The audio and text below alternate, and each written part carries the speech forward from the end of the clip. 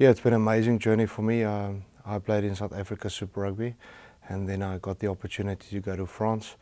I played there for four years at uh, Stade Toulousain and uh, got to learn, to learn some French, got to integrate with the culture and um, the Harlequins uh, uh, opportunity came up and it's really awesome. It'll be really great to be to experience uh, Premiership rugby uh, if I do uh, uh, get the opportunity and uh, it's just a different dynamic and uh, I must say the weather helps a bit.